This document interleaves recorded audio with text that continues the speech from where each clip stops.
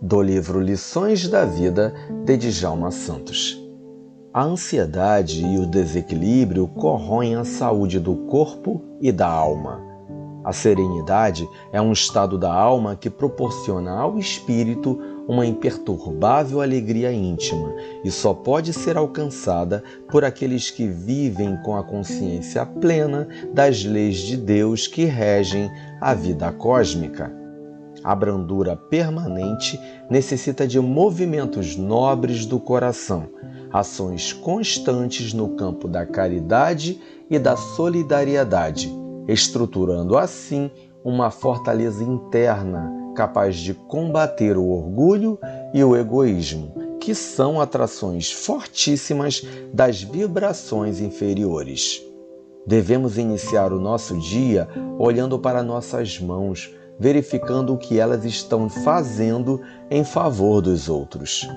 É necessário pensar na serenidade diuturnamente, invocando através da prece esse estado íntimo de paz.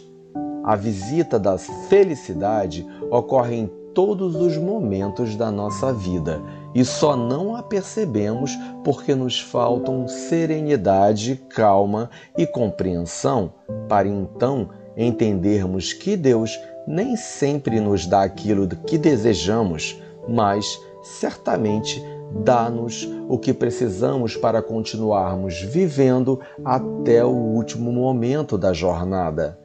Com serenidade, poderemos avaliar equilibradamente todos os assuntos, com pouquíssimas possibilidades de errar. Mas se formos apressados, já começamos errando. Aí, a probabilidade de as coisas darem errado aumenta consideravelmente. Perdemos projetos e oportunidades com o nosso jeito desequilibrado de ser.